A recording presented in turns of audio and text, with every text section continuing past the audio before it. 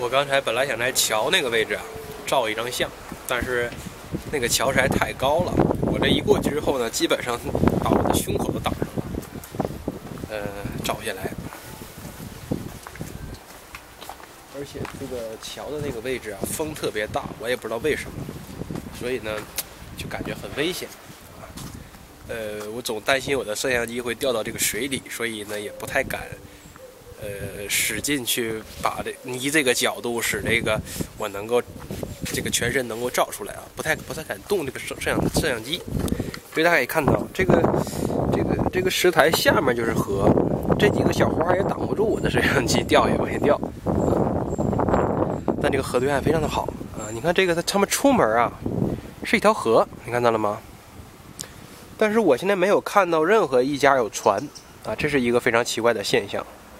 就是这些人，这个这个门我估计是在另一侧啊。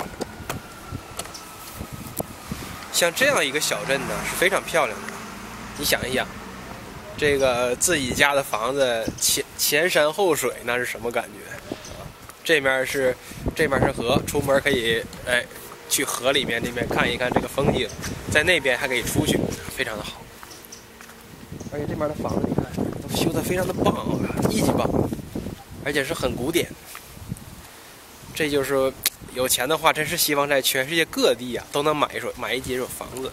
我估计啊，像马云呐，这个就是小马哥嘛，小马这种，或者是小比啊，小比就是那个比尔盖茨，像这些人，我觉得他们都应该在全世界各地都有房产。当然，呃，如果说他是像巴菲特这样一个非常会算计的人的话，我觉得那他可能更多的是住住旅店啊，因为他有钱的话，他可以住各种。好的酒店，房子的话还需要自己打理，比如说交什么，呃，各种费用啊，对不对？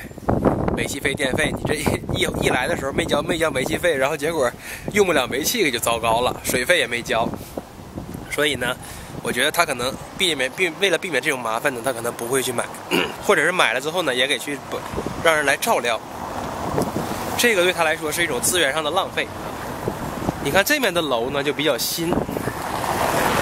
就是这这个这个河的这个外侧呀，就应该是新新区了，所以它这楼都是后盖的。但虽然是后盖的呢，但是也是非常符合当年的这个古典的这种风格啊。